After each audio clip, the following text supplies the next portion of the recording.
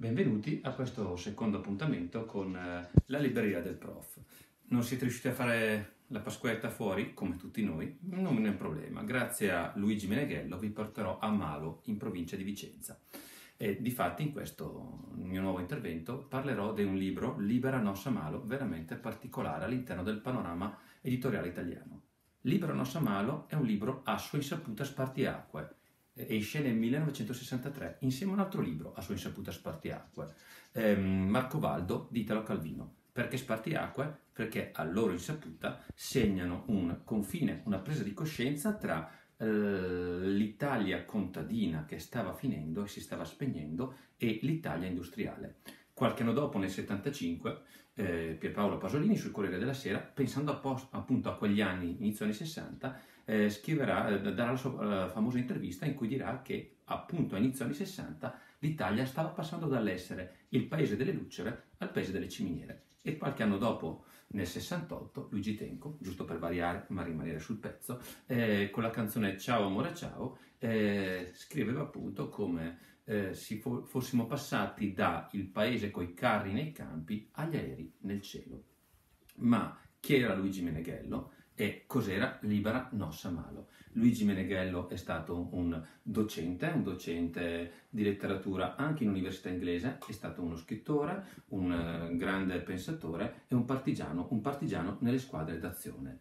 Vicentino ebbe parte della sua vita la trascorsa appunto in Inghilterra.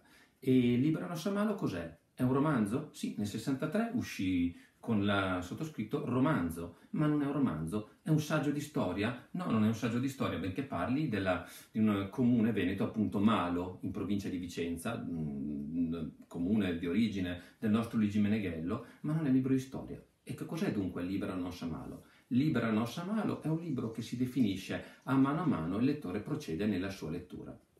Di cosa parla Libera Nossa Malo? Beh, Libera Nossa Malo è uno di quei libri come L'Orlando Furioso riassumibili come beautiful, nel senso che una trama ce l'ha, ma raccontata eh, significa perdersi in un garbuglio di una serie di eventi, perché tutto quello che troviamo raccontato in Libera Nossa Amalo, cioè la storia di questa comunità veneta tra gli anni 20 e gli anni 60 del Novecento, è un fiorire continuo di aneddoti che nascono eh, come in un flusso di, co- di coscienza alla Joyce, eh, flusso di coscienza alimentato da aneddoti e aneddoti che sono alimentati da parole. Ebbene sì, perché in Libera Nossa Malo gli aneddoti e le parole hanno uguale importanza. Noi dobbiamo immaginare Libera Nossa Malo come quelle faglie, sapete, quelli mm, sotto la terra, le zone di congiuntura tra i vari continenti si chiamano faglie, dove c'è un continuo attrito. Ecco, da questo continuo attrito eh, Libera Nossa Malo prende la sua sostanza.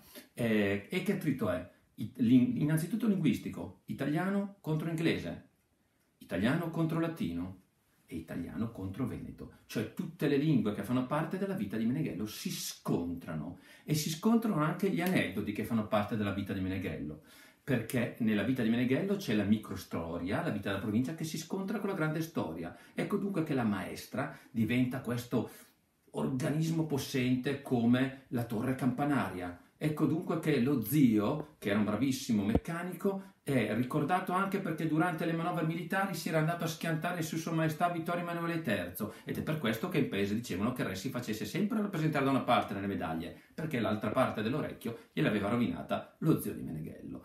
Eh, oppure Dio, Dio stesso, eh, la religione è molto presente nel testo di Meneghello Libera Nossa Malo, ma Dio che Dio è? È un dio, è un vecchio anziano eh, che sovrasta all'interno della vecchia parrocchiale, è onnipotente ma non troppo.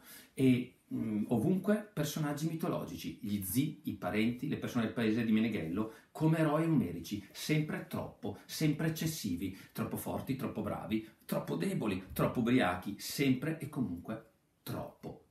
Eh, lo stesso titolo Libera Nossa Malo sarebbe stato il titolo ideale, stando a Schopenhauer nell'arte eh, di diventare uno scrittore, perché riesce a tenere insieme una formula di preghiera, Libera Nossa Malo, lo ricordo, è la versione latina di Liberaci del mare, del Padre Nostro, la preghiera della nostra delle popolazioni di religione cristiana cattolica, ma gioca anche sulla parola malo, malo, eh, appunto, il paesino in provincia di Vicenza. Ultima emanazione di questo Libera Nossa Malo è stata la citazione di Luciano Ligabue, ma questa è un'altra storia.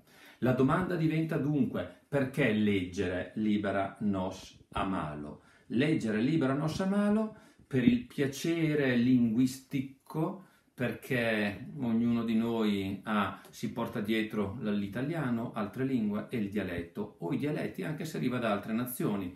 Eccoci. E perché leggere Libera Nostra Malo? Leggere Nostra Malo perché ognuno di noi ha avuto lo zio Beppe, la zia Maria e ognuno di noi ha avuto una sua piccola storia, ognuno di voi ha avuto una sua piccola patria. Grazie.